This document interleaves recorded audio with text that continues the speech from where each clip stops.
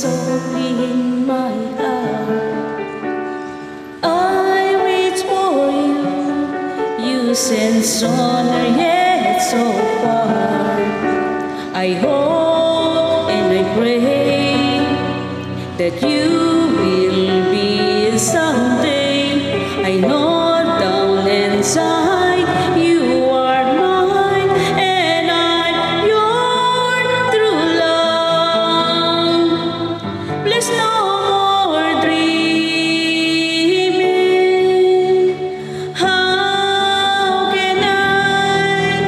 Stop.